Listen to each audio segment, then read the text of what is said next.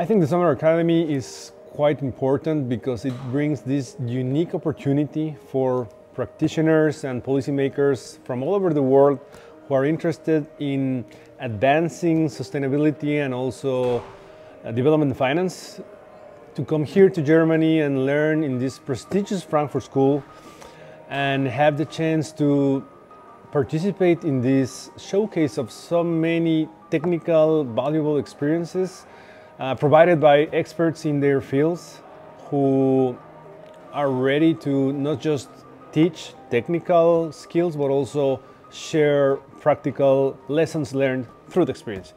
Uh, the Summer Academy is important because it is a place where we can discuss uh, different um, perspectives. And when we're talking about sustainable finance, then it is a multi-stakeholder approach.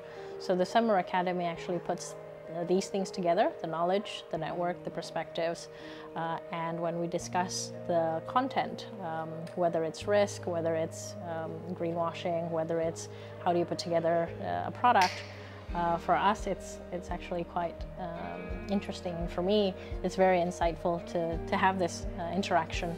The networking is not just about the friendship, but it's also having that contact where we can bounce and ask. Um, the, the, content is super rich. we really have to concentrate. Uh, but it's been great because there are practitioners, uh, academia, so a lot of the things that was covered uh, in the, uh, throughout the whole week uh, was actually enriching.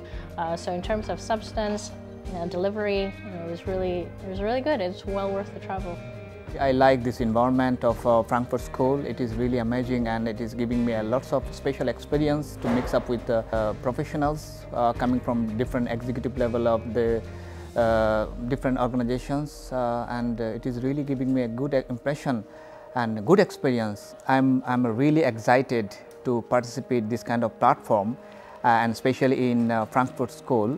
Uh, there is people, minimum 20 to 25 nationals, they are participating in the group. And no one is from same position, different kind of positions.